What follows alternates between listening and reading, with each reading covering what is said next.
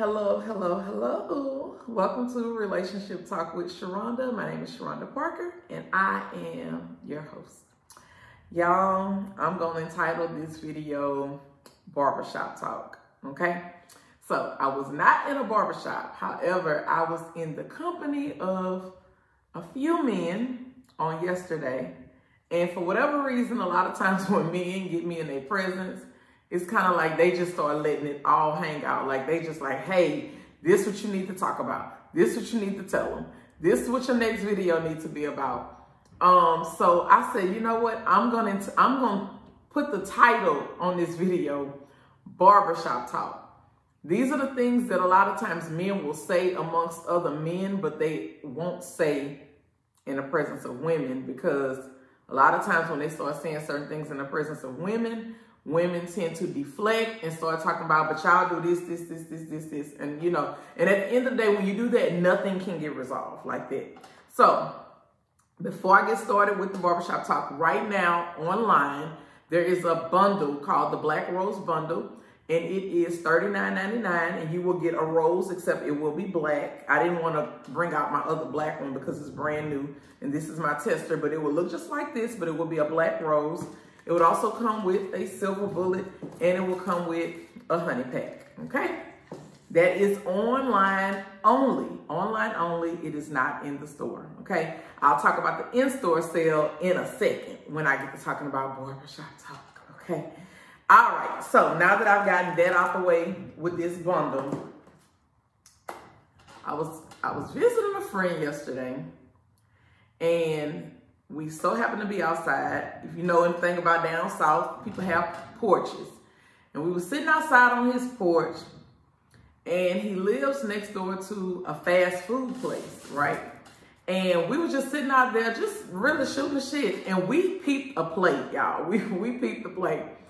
The chick pulled up, jumped out her car, went to her trunk, got her little bag together, her whole bag, together, right? And every man that was on that porch said, shit, somebody about to come pick up. Somebody about to come pick up. And, and I'm like, y'all gather out. They was like, shit, watch. Somebody about to come pick up. Y'all, I kid you not, in two minutes, a truck pulled up. She jumped in with, with her bag and they jumped on the interstate. no lie. And at that point, the men started talking. And they were basically saying certain things. Like it was, I, I, just, I picked up on so much in such a short amount of time. Um, basically, like, oh, they to get a room and she'll be back over here, back to her car by 8 o'clock. It's going to look like she done went ahead dinner with her friends and, and whatever, whatever. So, for whatever reason, that that's what sparked up the conversation, okay? In this conversation, I learned um, a lot of times partners are not enthusiastic to fuck their partners at home because sex has become so boring, meaning nothing about it is exciting anymore. Now, you know, I was just graced to, to be in a long marriage and we still enjoyed each other in the bedroom. Um, but for me, listening to these men talk, that's not necessarily the case. And a lot of men are not looking forward to having sex with the women that they are with because they have to put in all the work. And and these men were just speaking so plain, like, oh shit, I'm gonna have to do all the work. That ain't nothing to look forward to. So that made me realize, like, you know what? Maybe we gotta get a little more active in the bedroom as women, meaning maybe we gotta start dominating a little bit and saying what it is that we want in the bedroom and putting men in positions to where we are the ones dominating and in charge. So that's why I brought these two position books because if you go on the website, then you can actually look at different positions that you can get in. There are pictures to go with it. Um, this is the one that I, this is the one with the pictures. This one has pictures too, but this one has a calorie counter and um, different, uh, if it's below average, average, above average, um, what will you need? Like if you would need a chair or a bench or stool or whatever. This one does, says all of that. But anyway, we have both of these position books in the store. I think every couple should have a position book. The reason why I think every couple should have a position book is because um, there's so many different positions out there, and I find that people typically do the top three, which is missionary, doggy style, and riding, or some variation in there of the three. Okay, so get you a position book. I think that will be very, very helpful. Another thing is men enjoy adventure.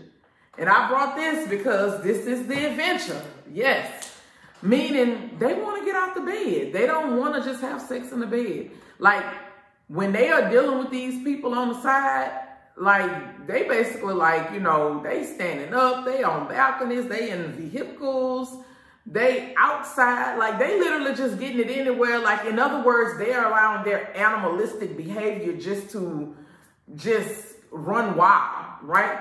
But when they're at home with their significant other, a lot of times they feel like they're tied to the bed. That is what the men are saying when we was having these conversations. They was like, yeah, talk about this here.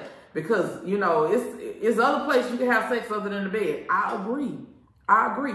You can, even if you want to still be in the comforts of your home, go in the living room. How about you lay out some shit in front of the fireplace if you have one? Or um, how about you, you know, cre- just create something within your home? Um, it's so many, it's so much that you can do, or invest in different position aids and stuff like this. So that was another thing that they brought to my attention. They want adventure. Yes. And a lot of times people are trying to bring in other third persons, fourth people, all of this because they're looking for fun and adventure in the bedroom because it's not existing. And the thing is, you're like, oh, he just want to do a threesome. Well, yeah, he does want to do a threesome because he's looking for something more, something fun, more exciting. That's what he's looking for, okay? Another thing that gets me going is a woman that has the, uh, I, I want to use the right words, uh, a woman who knows how to squirt. I'll just make it plain and simple. They love squirters. They love to see it. They love to play in it. They love to taste it. They love just everything about the whole experience of squirting.